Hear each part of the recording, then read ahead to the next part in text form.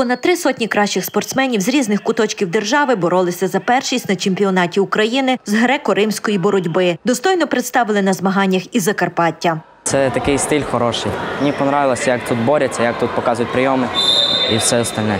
Ми тренувалися разом з, е, Богданом, тренером, з моїми друзями. Вони мене підготовили до чемпіонату світу. Це був найвищий такий е, результат мій у 22-му році, в кінці вже літом. Е, Був виступав на Європі теж, е, теж зайняв перше місце, і на світі теж, теж перше місце. Ну, мені подобається. Тут е, можна конкурувати з багатьма людьми, можна перейти в різні категорії. Цікаві люди, можна багато поспілкуватись про що. Всі різносторонні. Ну, щоб наша нація була здорова, саме е, головне. Ну і спорт е, допомагає відволіктися від, е, від цього е, повсякденного, можна так сказати, бомбардування, цих новин. Можна очистити свій розум.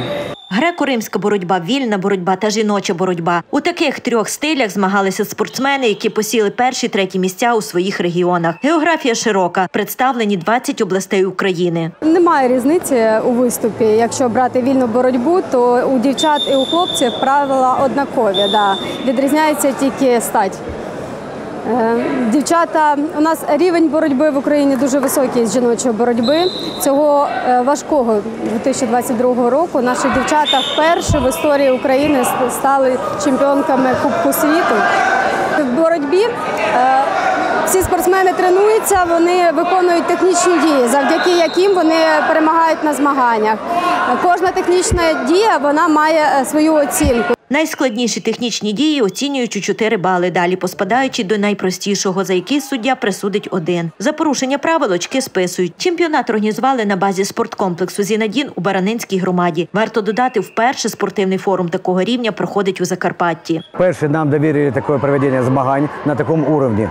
И мы со своей стороны, вы видели, как украшен зал. Мы постарались сделать все, чтобы было доступно всем и не ударить в грязь лицо. Особенно наш тя- тяжкий такой стан, как військовый стан. Благодаря нашей військовой администрации, которые пошли нам на зустріч и сприяли в, помощи и осветлении, и допомога в организации турнира. Это и трансфер, и организация залов, и тому подобное. Один из складных видов спорта, где используются и функциональные возможности, и физические возможности, и возможности многих видов спорта. Здесь чувство всех тела, ну, спроможностей, всех мязей, всех э, э, частей тела, так, если сказать, заділено в этих э, суточках. Попри воєнний стан, ситуацію в країні, підтримка спорту одне з пріоритетних завдань державного рівня.